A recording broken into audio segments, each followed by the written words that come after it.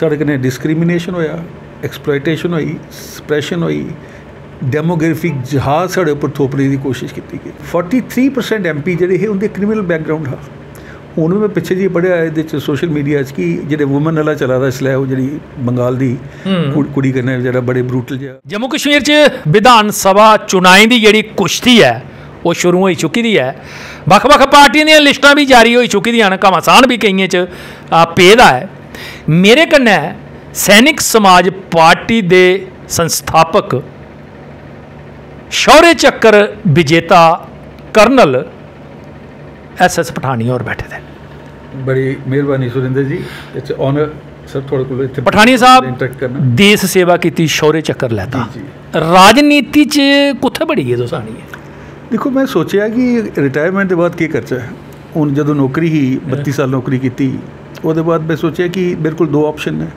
ਜਿਵੇਂ ਬਾਕੀ ਫੌਜੀ ਆਉਂਦੇ ਕਿ ਘਰ ਆਈਏ ਗੋਲਫ ਲੈ ਲਿਆ ਸੈਰ ਕਰ ਲਈ। ਬਿਲਕੁਲ। ਉਹ ਮਿਗੀ ਮਨਜ਼ੂਰ ਨੇ ਹਮਾ ਕਿਸੇ ਲੋਕਾਂ ਦੇ ਵਾਸਤੇ ਸੇਵਾ ਕਰਨੇ ਦੀ ਕੋਸ਼ਿਸ਼ ਕਰਨੇ ਆ ਤਾਂ ਉਹ ਮਿਗੀ ਅਪਰਚੂਨਿਟੀ ਮਿਲੀ ਹਾਂਜੀ।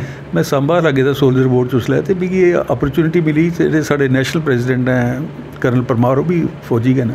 ਅੱਛਾ। ਉਹਨੇ ਆਖਿਆ ਜੀ ਤੁਸ ਪੋਲਿਟਿਕਸ ਆਓ ਤੇ ਮੈਂ ਚਲੋ ਐਕਸਪੈਰੀਮੈਂਟ ਕਰਨੇ ਆ ਐਕਸਪਲੋਰ ਕਰਨੇ ਆ।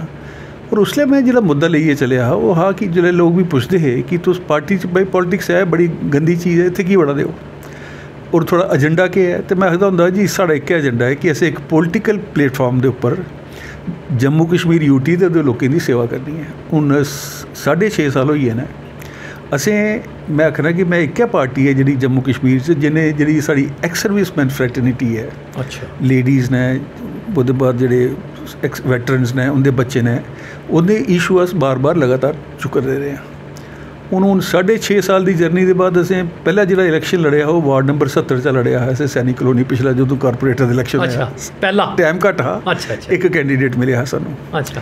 ਉਹਦੇ ਬਾਅਦ ਫਿਰ ਹੁਣ ਅਸੀਂ ਆਖਿਆ ਕਿ ਚਲੋ ਹੁਣ ਅਸੈਂਬਲੀ ਇਲੈਕਸ਼ਨ ਅੱਛਾ ਇਹ ਜਿਹੜੀ ਪਾਰਟੀ ਤੁੰਦੀ ਰਾਸ਼ਟਰੀ ਸਤਰ ਦੀ ਪਾਰਟੀ। ਇਹ ਰਾਸ਼ਟਰੀ ਨੈਸ਼ਨਲ ਸਾਡੀ ਕੋਈ 11 ਸਟੇਟ ਚ ਪ੍ਰੈਜ਼ੈਂਸ ਹੈ ਜੀ। ਅੱਛਾ ਤੇ ਕੋਈ ਤੁੰਦਾ ਵਿਧਾਇਕ ਜਾਂ ਮੈਂਬਰ ਪਾਰਲੀਮੈਂਟ ਨਾ ਅੱਜ ਤੱਕ ਕੋਈ ਨਹੀਂ। ਹੋਪਫੁਲੀ ਕੀ ਕੀ ਕਾਰਨ ਕੀ ਹੈ? ਸਰ ਕਾਰਨ ਕੀ ਹੈ ਕਿ ਜਿਹੜੀ ਨਵੀਂ ਪਾਰਟੀ ਉਹ ਲਿਖ ਤੇ ਫੰਡਸ ਨਹੀਂ ਹੁੰਦੇ। ਅੱਛਾ। ਇਹਨੇ ਜਿਹੜੀ ਉਹ ਇਲੈਕਟਰ ਬਾਂਡ ਚ ਕੱਖ ਨਹੀਂ ਮਿਲਦਾ। ਦੂਆ ਜਿਹੜਾ ਹੈ ਲੋਕ ਜਿਹੜੇ ਨੇ ਉਹ ਆਪਣੀ ਸ਼ਰਤ ਲਾਉਂਦੇ ਦਾਅ ਲਾਉਂਦੇ ਉਹਦੇ ਉੱਪਰ ਜਿਹੜੀ ਪਾਰਟੀ ਜਿੱਤਣ ਵਾਲੀ ਉਹ ਹੈ। ਔਰ ਉਹਦੀ ਇਹ ਸੋਚ ਹੁੰਦੀ ਹੈ ਕਿ ਮੈਂ ਜਿਹੜਾ ਪੋਲਿਟਿਕਸ 'ਚ ਵੜਨਾ ਤੇ ਮੈਂ ਇਹਦੇ 'ਚ ਕੱਢੀ ਕੀ ਸਕਦਾ।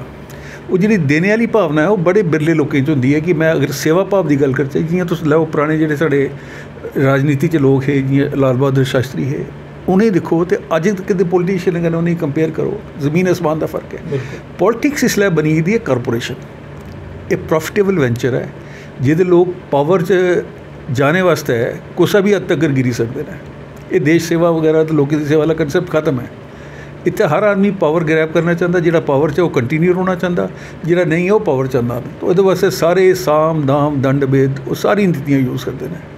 ਔਰ ਸਾਰਿਆਂ ਕੋਲੋਂ ਵੱਡਾ ਕਸੂਰ ਇਹ ਹੈ ਤੁਸੀਂ ਦੇਖੋ ਕਿ ਪਿਛਲੀ ਲੋਕ ਸਭਾ 'ਚ ਸਾਡੇ ਜਿਹੜੇ 43% ਐਮਪੀ ਹੈ ਮੈਂ ਇੱਕ ਪਾਰਟੀ ਦੀ ਗੱਲ ਨਹੀਂ ਕਰਾਂਗਾ ਸਾਰੀ ਪਾਰਟੀ ਦੀ ਗੱਲ ਕਰਾਂ ਬਿਲਕੁਲ। 43% ਐਮਪੀ ਜਿਹੜੇ ਇਹ ਉਹਦੇ ਕ੍ਰਿਮੀਨਲ ਬੈਕਗ੍ਰਾਉਂਡ ਆ।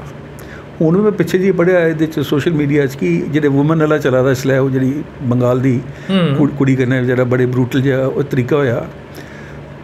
ਇਸ ਲਈ ਸਾਡੇ 117 ਐਮਪੀ ਤੇ ਐਮਐਲਏ ਨੇ ਜਿੰਦੇ ਖਿਲਾਫ ਔਮਨ ਐਕਸਪਲੋਇਟੇਸ਼ਨ ਦੇ ਕੇਸ ਚਲਾਦੇ ਨੇ ਅੱਛਾ। ਤੁਸੀਂ ਰਾਜਨੀਤੀ ਦੇ ਸਤਰ ਦੇਖ ਲਿਆ ਕੁਝ ਕਿੰਨਾ ਗਿਰੀਅਤ ਹੈ? ਔਰ ਸਾਰੇ ਕੋਲ ਵੱਡੀ ਮੈਂ ਆਖਣਾ ਕਿ ਗਲਤੀ ਹੈ ਸਾਡੇ ਲੋਕਾਂ ਦੀ ਜਿਹੜੇ ਉਹਲੇ ਲੋਕਾਂ ਨੂੰ ਵੋਟ ਦਿੰਦੇ ਨੇ। ਗੱਲ ਚੁਣਦੇ ਤੇ ਲੋਕ ਜਿਹੜੇ ਬਾਹੂਬਲੀ ਨੇ ਕਰਪਟ ਨੇ ਸਮਗਲਰ ਨੇ ਔਰ ਅੱਛਾ ਬੰਦਾ ਤੁਸੀਂ ਉਹਦੇ ਸਾਹਮਣੇ ਖੜਾ ਕਰਿਓ ਉਸੇ ਤੇ ਉਹਨੇ ਵੋਟ ਨਹੀਂ ਦੇਣਾ। ਜਦ ਤੱਕ ਇਹ ਜਿਹੜਾ ਮਾਈਂਡ ਸੈਟ ਹੈ ਲੋਕਾਂ ਦਾ ਨਹੀਂ ਬਦਲੇਗਾ ਕਿਉਂਕਿ ਮੈਂ ਵੀ ਦਿਖਣਾ ਕਿ ਸਾਨੂੰ ਕੋਈ ਰਿਸਪੌਂਸ ਨਹੀਂ ਮਿਲਦਾ। ਜਿਹੜੇ ਵੀ ਲੋਕ ਆਉਂਦੇ ਹੋਦੇ ਜੀ ਸਾਨੂੰ ਪੈਸੇ ਕਿੰਨੇ ਹਾਂ ਦੇਖੇ ਹੋਗੇ ਦੇਖੀਏ ਹੁਣ ਅਸੇ ਦੇਰੀ ਦੀ ਪੋਜੀਸ਼ਨ ਤੇ ਹੈ ਨਹੀਂ। ਮਾਂ ਮੈਂ ਆਪਣੀ ਪੈਨਸ਼ਨ ਚ ਔਰ ਵੀ ਲਾਣਾ ਤਾਂ ਅਗਰ ਤੁਸੀਂ ਪੈਸੇ ਦੇਈਏ ਤੁਸੀਂ ਅਗਰ ਕੈਂਡੀਡੇਟ ਖੜੇ ਕਰਨੇ ਨੇ ਕਿਹਦੇ ਵਾਸਤੇ? ਅੱਛਾ ਜੰਮੂ ਕਸ਼ਮੀਰ ਚ ਕਰਨਲ ਸਾਹਿਬ ਵੀ ਚੁਣਾਵ ਦਾ ਜਿਹੜੇ ਕੁਸ਼ਤੀ ਸ਼ੁਰੂ ਹੋਈ ਚੁੱਕੀ ਦੀ ਹੈ। ਬਿਲਕੁਲ ਬਿਲਕੁਲ। ਕਿੰਨੇ ਉਮੀਦਵਾਰ ਤੁਸੀਂ ਜਿਹੜੇ ਨੇ ਖੜੇਰਾ ਕਰਦੇ ਹੋ ਆਪਣੀ ਪਾਰਟੀ ਦੇ ਇੱਥੇ? ਦੇਖੋ ਸਰ ਮੈਂ ਤੇ ਇਸ ਲਈ ਸਾਡੇ ਦੋ ਉਮੀਦਵਾਰ ਅਸੀਂ ਫਾਈਨਲਾਈਜ਼ ਕਰੀ ਉੜੇ ਨੇ। ਅੱਛਾ। ਇੱਕ ਤੇ ਤੁਹਾਡੇ ਸਾਹਮਣੇ ਬੈਠੇ ਦੇ ਨੇ ਦਲਬੀਰ ਚਿਪ ਜੀ ਜਿਹੜੇ ਜਰਨਲਿਸਟ ਬਰਾਦਰੀ ਦੇ ਨੇ ਔਰ ਦੂਆ ਜਿਹੜਾ ਸਾਡਾ ਕੈਂਡੀਡੇਟ ਹੈ ਉਹ ਹੈ ਰੋਹਿਤ ਬਡਿਆਲ ਇਸ ਲਈ ਅਸੀਂ ਜੰਮੂ ਵੈਸਟ ਤੇ ਜੰਮੂ ਨਾਰਥ 'ਚ ਅੱਛਾ। ਦੋ ਕੈਂਡੀਡੇਟ ਸੇ ਖੜੇ ਕਰੀ ਉੜੇ ਦੇ ਨੇ। ਹੁਣ ਆਉਣ ਵਾਲੇ ਸਮੇਂ 'ਚ ਕਿੰਨੇ ਲੋਕ ਸਾਡੇ ਨਾਲ ਜੁੜਦੇ ਨੇ ਕਿੰਨੇ ਲੋਕ ਜਿਹੜੇ ਨੇ ਇਲੈਕਸ਼ਨ ਲੜਨਾ ਚਾਹੁੰਦੇ ਨੇ ਅਸੈਂਬਲੀ ਦਾ ਤੇ ਉਹ ਡਿਪੈਂਡ ਕਰੇਗਾ ਬਟ ਮੈਂ ਉਮੀਦ ਹੈ ਕਿ ਸਾਨੂੰ ਕਿਸ ਕੈਂਡੀਡੇਟ ਮਿਲਣੇ ਨੇ ਇਸ ਵਾਰ। ਔਰ ਜਿਹੜੇ ਤੁਸੀਂ ਕੈਂਡੀਡੇਟ ਆਪਣੇ ਖੜੇ ਕੀਤੇ ਨੇ ਇੱਥੇ ਮੈਨੂੰ ਲੱਗਦਾ ਕਿ ਐਕਸ ਸਰਵਿਸਮੈਨ ਜਿਹੜੇ ਬੜੇ ਘੱਟ ਹਨ ਤੇ ਫਿਰ ਕਿਵੇਂ ਕਰੂ ਕੰਮ ਐਕਸ ਸਰਵਿਸਮੈਨ ਬਟੋਏ ਦੇ ਨੇ ਸੁਰਿੰਦਰ ਜੀ। ਇੰਦਾ ਚ ਯੂਨਿਟੀ ਨਹੀਂ ਹੈ। ਕੋਈ ਕੁਸਾ ਪਾਰਟੀ ਕੇ ਨਾਲ ਚੱਲਦਾ ਕੋਈ ਕੁਸਾ ਪਾਰਟੀ ਕੇ ਚੱਲਦਾ ਸੋ ਮਚ ਸੋ ਇੰਦੇ ਘਰ ਦੇ ਅੰਦਰ ਵੀ ਵਿਖਰਾਵ ਹੈ। ਕਿ ਕੋਈ ਇੱਕ ਪਾਰਟੀ ਕੀ ਵੋਟ ਦਿਆ ਤਾਂ ਕੋਈ ਦੂਈ ਕੀ ਦਿਆ ਤੇ ਜਦ ਤੱਕ ਐਕਸ ਸਰਵਿਸਮੈਨ ਯੂਨਾਈਟ ਨਹੀਂ ਔਰ ਹੋਣਾ ਬੜੀ ਮਤੀ ਤਦਾਦ ਚ ਬੜੇ ਜੰਮੂ ਕਿਤੇ ਬੜੇ- ਜ਼ਿਆਦਾ। ਦੇਖੋ ਇੱਕ ਸਰਵੇ ਹੋਇਆ ਉਹਦੇ ਚ ਆਖਦੇ ਕਿ ਇੱਕ ਜਿਹੜਾ ਵੈਟਰਨ ਹੈ ਅਰਬਨ ਏਰੀਆ 'ਚ ਉਹ 3 ਵੋਟ ਇਨਫਲੂਐਂਸ ਕਰਦਾ ਹੈ। ਜ਼ਿਆਦਾ ਵੀ ਹੋ ਸਕਦਾ ਘੱਟ ਵੀ ਹੋ ਸਕਦਾ। ਬਿਲਕੁਲ। ਔਰ ਸਾਡੀ ਜਿਹੜੀ ਸਾਰਿਆਂ ਕੋਲੋਂ ਵੱਡੀ ਸਟਰੈਂਥ ਹੈ ਕਿ ਸੈਨਿਕ ਸਮਾਜ ਪਾਰਟੀ ਨਾ ਇਹਦਾ ਮਤਲਬ ਹੈ ਕਿ ਸੈਨਿਕ ਤੇ ਸਮਾਜ ਦਾ ਮਿਸ਼ਰਣ ਹੈ। ਬਿਲਕੁਲ। ਔਰ ਅਸੀਂ ਉਮੀਦ ਕਰ ਰਹੇ ਹਾਂ ਕਿ ਐਕਸ ਸਰਵਿਸਮੈਨ ਜਿਹੜੇ ਸਾਡੇ ਵੈਟਰਨਸ ਨੇ ਉਹ ਸਾਨੂੰ ਸਪੋਰਟ ਕਰਨਗੇ। ਸਾਡੇ ਕੈਂਡੀਡੇਟ ਕੀ ਸਪੋਰਟ ਕਰਨਗੇ ਤਾਂ ਕਿ ਆਉਣੇ ਵਾਲੇ ਸਮੇਂ 'ਚ ਲੋਕਾਂ 'ਚ ਇੱਕ ਐਨਕਰੇਜਮੈਂਟ ਵੀ ਮਿਲੇ ਕਿ ਇੱਕ ਨਵੀਂ ਪਾਰਟੀ ਵੀ ਗਰੋ ਕਰ ਸਕਦੀ ਹੈ, ਲੇਕਿਨ ਉਹ ਤਦ ਤੱਕ ਗਰੋ ਨਹੀਂ ਹੋ ਸਕਦੀ ਜਦ ਤੱਕ ਲੋਕਾਂ ਦੀ ਸਪੋਰਟ ਨਹੀਂ ਮਿਲੇ, ਜਦ ਤੱਕ ਮੀਡੀਆ ਦੀ ਸਪੋਰਟ ਨਹੀਂ ਮਿਲੇ। ਤਾਂ media plays a very important role ਤੇ ਤੁਹਾਨੂੰ ਅਸੀਂ ਰਿਕੁਐਸਟ ਕਰਨੇ ਆ ਕਿ ਸਾਡੀ ਪਾਰਟੀ ਕੀ ਮਰਾ ਥੋੜਾ ਜਿਹਾ ਉਹ ਆਖਦੇ ਨਾ ਵਿਜ਼ਿਬਿਲਿਟੀ ਤੇ ਪ੍ਰੈਜ਼ੈਂਸ ਦਿਓ ਤਾਂ ਕਿ ਲੋਕ ਅਟਰੈਕਟ ਹੋ ਸਕਣ। ਚਲੋ ਜਿਸ ਵੇਲੇ ਤੁੰਦੇ ਚੁਣਾਵ ਘੋਸ਼ਣਾ ਪੱਤਰ ਸਾਹਮਣੇ ਆਉਂਦਾ ਕੀ ਕਿ ਬਾਕੀ ਪਾਰਟੀਆਂ ਜਿਹੜੇ ਚੁਣਾਵ ਘੋਸ਼ਣਾ ਪੱਤਰ ਨੇ। ਉਹਦੇ ਸਾਹਮਣੇ ਆਈ ਗਏ ਦੇ ਨੇ। ਚੁਣਾਵ ਘੋਸ਼ਣਾ ਪੱਤਰ ਅਸੀਂ 13 ਪੁਆਇੰਟ ਰੱਖੇ ਨੇ ਉਹਦੇ 'ਚ। ਅੱਛਾ ਕੀ ਕੀ? ਹੁਣ ਮੈਂ ਸਾਰਿਆਂ ਕੋਲੋਂ ਪਹਿਲਾਂ ਜਿਹੜਾ ਮੈਂ ਦੇਖਿਆ ਕਿ ਪਿਛਲੇ 75 77 ਸਾਲ 'ਚ ਕਸ਼ਮੀਰ ਬੇਸ ਪੋਲੀਟੀਸ਼ੀਅਨ ਨੇ ਜੰਮੂ ਦਾ ਬੇੜਾ ਗਰ ਕਰੀ ਉੜਿਆ। ਸਾਡੇ ਕਨੇ ਡਿਸਕ੍ਰਿਮੀਨੇਸ਼ਨ ਹੋਇਆ ਐਕਸਪਲੋਇਟੇਸ਼ਨ ਹੋਈ ਸਪਰੈਸ਼ਨ ਹੋਈ ਡੈਮੋਗ੍ਰਾਫਿਕ ਜਹਾਜ਼ ਸਾਡੇ ਉੱਪਰ ਥੋਪਣੇ ਦੀ ਕੋਸ਼ਿਸ਼ ਕੀਤੀ ਗਈ। ਹੁਣ ਇਹ ਇੱਕ ਸਟੇਟ ਹੈ ਜਿਹਦੇ 'ਚ 70% ਮੁਸਲਿਮ ਪਾਪੂਲੇਸ਼ਨ ਹੈ। ਤੁਸੀਂ ਅਗਰ ਸੋਚਦੇ ਹੋ ਕਿ ਇਕੱਲਾ ਹੀ ਕੋਈ ਜੰਮੂ ਬੇਸ ਰੀਜਨਲ ਪਾਰਟੀ ਜਾਂ ਬੀਜੇਪੀ ਪਾਵਰ 'ਚ ਆਈ ਅਗਰ ਬਗੈਰ ਉਹਦੀ ਸਪੋਰਟ ਦੇ ਉਹ ਨਾਮੁਮਕਿਨ ਹੈ ਉਹ ਗਾ ਨਹੀਂ ਉਹ। ਤੇ ਅਸੀਂ ਸਾਰਿਆਂ ਕੋਲੋਂ ਪਹਿਲਾਂ ਇਹ ਡਿਮਾਂਡ ਕੀਤੀ ਕਿ ਸਾਡੀ ਇੱਕ ਸੈਪਰੇਟ ਜੰਮੂ ਸਟੇਟ ਹੋਏ ਮਹਾਰਾਜ ਅੱਛਾ ਅਲੱਗ।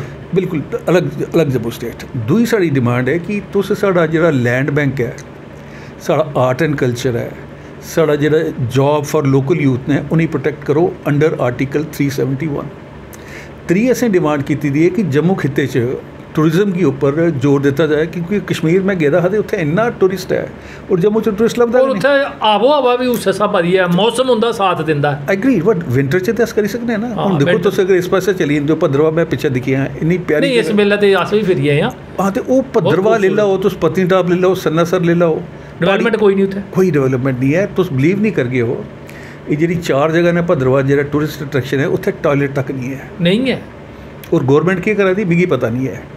ਅੱਛਾ ਉਹਦੇ ਬਾਅਦ ਅਸੀਂ ਫਿਰ ਦੂ- ਇੱਕ ਹੋਰ ਪੁਆਇੰਟ ਜਿਹੜਾ ਦਿੱਤਾ ਇੰਪੋਰਟੈਂਟ ਪੁਆਇੰਟ ਜਿਹੜਾ ਹੈ ਕਿ ਅਸੀਂ ਹਾਂ ਕਿ ਰੋਹਿੰਗੀਆ ਤੇ ਬੰਗਲਾਦੇਸ਼ੀ ਇਹ ਪੂਰੇ ਦੇਸ਼ ਪਰ ਥ੍ਰੈਟ ਨੇ ਸਰ ਲਾਅ ਐਂਡ ਆਰਡਰ ਕਰਨਾ ਵੀ ਅਦਰਵਾਈਜ਼ ਆਲਸੋ ਤੇ ਇਹਨੇ ਕੀ ਜਲਦੀ ਤੇ ਜਲਦੀ ਜਿਹੜੇ ਇਲੀਗਲ ਇਮੀਗ੍ਰੈਂਟਸ ਨੇ ਉਹਨੇ ਕੀ ਡਿਪੋਰਟ ਕੀਤਾ ਜਾਏ?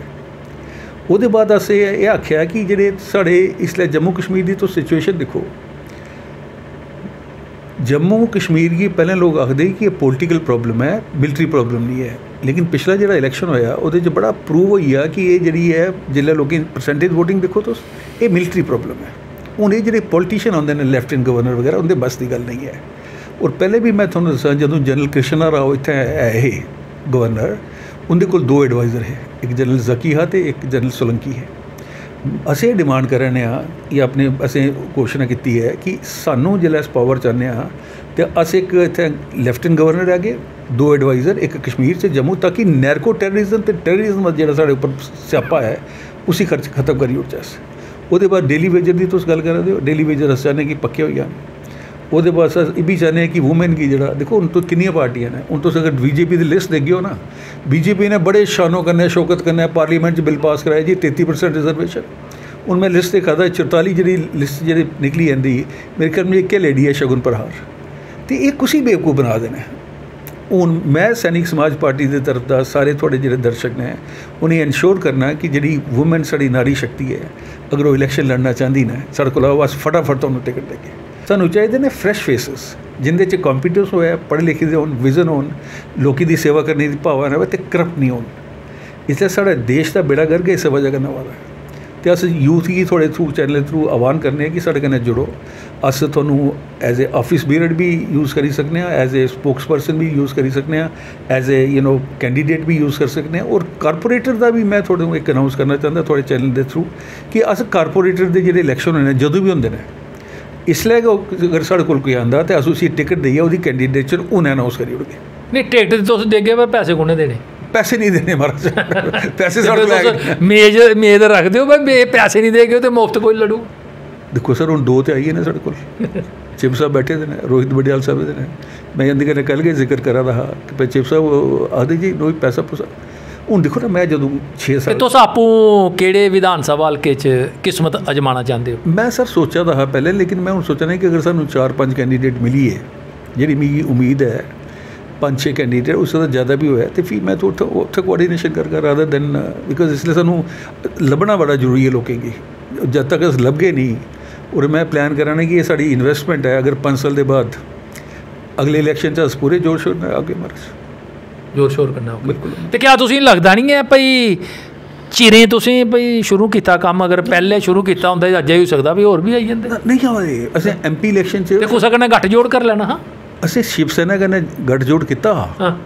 ਲੇਕਿਨ ਨਹੀਂ ਗੱਲ ਬਣੀ। ਪਿਛਲੀ ਵਾਰੀ ਨਹੀਂ ਹੁੰਦੀ ਉਹਦਾ ਕੀ ਹੋਇਆ ਕਿ ਸ਼ਿਵ ਸੈਨਾ ਦਾ ਜਿਹੜੀ ਹਾਈ ਕਮਾਂਡ ਹੈ ਉਹਦਾ ਉਹ ਆਈ ਆ ਫਰਮਾਨ ਕਿ ਤੁਸੀਂ ਇੰਡੀਆ ਅਲਾਈਅੰਸ ਦੀ ਸਪੋਰਟ ਕਰਨਾ ਹੈ। ਅੱਛਾ। ਅੱਛਾ ਸਾਡੇ ਕੋਲ ਕੋਈ ਆਪਸ਼ਨ ਨਹੀਂ ਹੈ ਤੇ ਫੀ ਮੈਂ ਦੇਖਿਆ ਬਿਕਾਜ਼ ਸਾਡੇ ਮੈਂ ਨੈਸ਼ਨਲਿਸਟ ਲਿਖਾ ਤੇ ਪੈਟਰੀਓਟਿਕ ਮੇਰੀ ਸੋਚ ਹੈ। ਬਿਲकुल ਉਹ ਤੇ ਫੀ ਐਸੇ ਗਏ ਜੀ ਕਿਸੇ ਨੇ ਮੇਰੀ ਜ਼ੋਰ ਜ਼ਬਰਦਸਤੀ ਕੀਤੀ ਕਿ ਮਹਾਰਾਜ ਤੁਸੀਂ ਬੀਜੇਪੀ ਦੀ ਸਪੋਰਟ ਦਿਓ। ਮੈਂ ਬੀਜੇਪੀ ਕੀ ਜ਼ਰੂਰਤ ਹੈ ਸੈਨਿਕ ਸਮਾਜ ਪਾਰਟੀ ਦੀ। ਬਟ ਫਾਈਨਲੀ ਅਸ ਗਏ ਉਹਨੇ ਦਫ਼ਤਰ ਚ ਕੋਲ ਸਾਹਿਬ ਕੀ ਐਸੇ ਅਨਕੰਡੀਸ਼ਨਲ ਸਪੋਰਟ ਜਿਹੜੀ ਹੈ ਪਾਰਲੀਮੈਂਟ ਵਾਸਤੇ ਦਿੱਤੀ। ਬਹੁਤ ਅੱਛਾ। ਤੇ ਉਹ ਉਹ ਗੱਲ ਇਹ ਹੈ ਕਿ ਹੁਣ ਜਿਹੜਾ ਦੇਸ਼ ਦੇ ਬਾਰੇ ਸੋਚਣਾ ਚਾਹੁੰਦੇ ਨੇ, ਲੋਕਾਂ ਦੇ ਬਾਰੇ ਸੋਚਣਾ ਚਾਹੁੰਦੇ ਨੇ।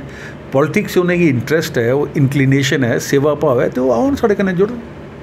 ਔਰ ਜਿਹੀਆਂ ਜਿਹੀਆਂ ਪਾਰਟੀ ਗਰੋ ਹੋਗ ਉਹ ਵੀ ਗਰੋ ਕਰਨਗੇ ਬਿਲਕੁਲ। ਜੀਆਂ ਜੀਆਂ ਪਾਰਟੀ ਗਰੋ ਹੋਗ ਉਹ ਵੀ ਲੋਕ ਕਰਨਗਣ ਸੈਨਿਕ ਸਮਾਜ ਪਾਰਟੀ ਜਿਹੜੀ ਹੈ, ਇਹ ਸੈਨਿਕਾਂ ਦੀ ਪਾਰਟੀ ਹੈ। ਔਰ ਤੁਸੀਂ ਕੀ ਪਤਾ ਹੈ ਭਾਈ ਸੈਨਿਕ ਜਿਹੜਾ ਹੈ, ਆਪਣੀ ਮਾਤਰ ਭੂਮੀ ਆਪਣੀ ਦੇਸ਼ ਪ੍ਰੇਮ ਔਰ ਦੇਸ਼ ਦੀ ਸੁਰੱਖਿਆ ਕੀਤਾ ਦਿਨ ਰਾਤ ਇੱਕ ਕਰਦਾ ਹੈ। ਔਰ ਚੌੜੀ ਛਾਤੀ ਤਾਨੀ ਹੈ ਬਾਰਡਰ ਉੱਪਰ, ਸੀਮਾ ਉੱਪਰ ਖੜੋਤਾ ਦਾ ਹੈ। ਤਾਂ ਕਿ ਮੇਰੇ ਦੇਸ਼ ਦੇ ਜਿਹੜੇ ਵਸਨੀਕ ਹਨ, ਉਹ ਚੈਨ ਦੀ ਜਾਂ ਸੁਖਾ ਦੀ ਜਿਹੜੀ ਨੀਂਦਰ ਹੈ, ਉਹ ਲਈ ਸਕਣ। ਔਰ ਜਿਵੇਂ ਕਰਨ ਸਾਹਿਬ ਨੇ ਆਖਿਆ ਕਿ ਯੁਵਾ ਵਰਗ ਜਿਹੜਾ ਹੈ, ਉਹ ਇਸ ਵਕੀਆ ਹੈ, ਆਪਣੀ ਕਿਸਮਤ ਅਜਮਾ, ਤਾਂ ਕਿ ਸੈਨਿਕ ਸਮਾਜ ਜਿਹੜੀ ਪਾਰਟੀ ਹੈ, ਇਹ ਅੱਗੇ ਵਧੀ ਸਕੇ।